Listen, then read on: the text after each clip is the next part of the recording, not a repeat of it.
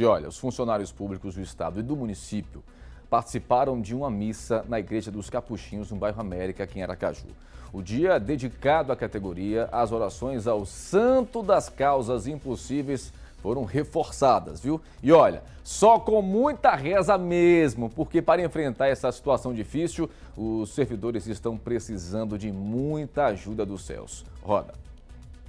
Sem dia certo para receber os salários, o jeito foi apelar para São Judas Tadeu.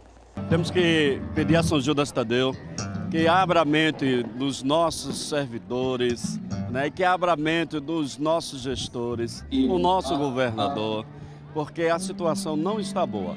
Tem que apelar para São Judas, porque está complicado demais, é muito difícil, principalmente para os aposentados. Eu acredito que Deus, com a nossa fé, tudo pode melhorar.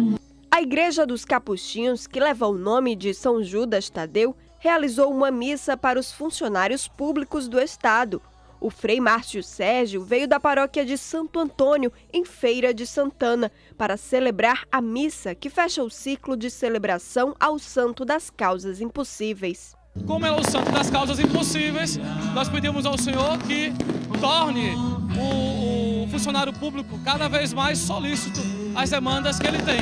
E todos aqueles que têm algo que seja impossível, confiar na intercessão do santo. O Frei ainda se compadeceu da situação dos servidores públicos do nosso estado e fez um apelo. A gente pede cada vez mais que os governantes consigam olhar para a necessidade do povo, como os apóstolos olharam, porque foram homens dedicados às pessoas, não aos próprios interesses. É isso que caracteriza um discípulo de Jesus: pensar no outro e muito menos no próprio bolso, em si mesmo. Tem que rezar muito, viu, minha gente?